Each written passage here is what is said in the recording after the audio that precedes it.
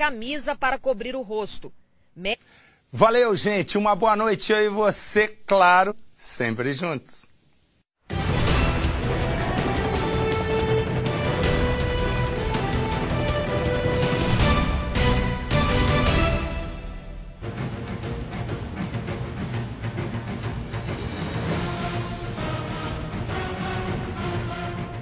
Da Pedreira. O pessoal da Rotan agora está dando o apoio aqui aos policiais do, desta área aqui do bairro da Pedreira para poder fazer imediatamente a liberação do refém dentro daquele carro de luxo. Bairro Batista Campos. Ele vem comigo! Não, deixa ele, deixa ele. Não! Já barra de fundo de fundo, de fundo. Ah, deixa tá aqui. Já vai ficou nele. Deixa aqui no carro.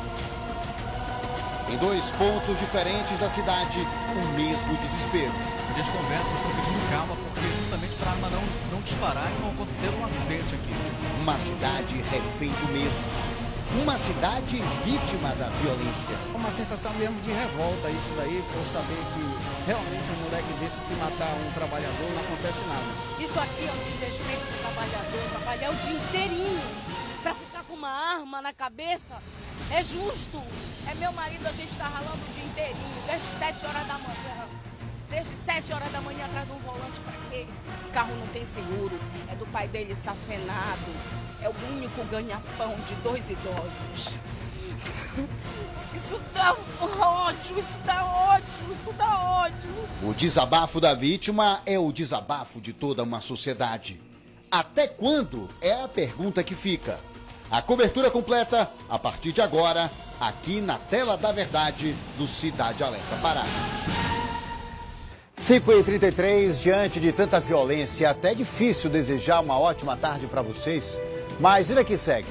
A gente já começa o programa de hoje mostrando também, me dá já as imagens de uma arma de fogo.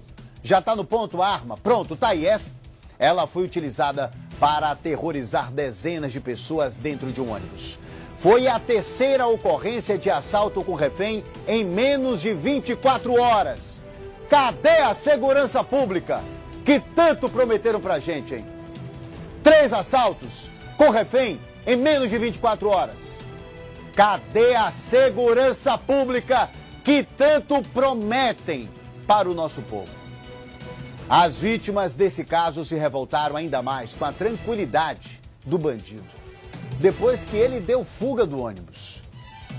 O povo, inclusive, foi atrás do bandido, do marginal.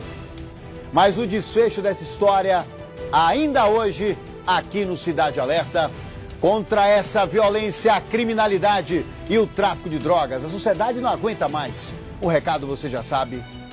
Pimenta neles! E a Polícia Civil divulgou hoje o balanço das apreensões de armas de fogo no nosso estado.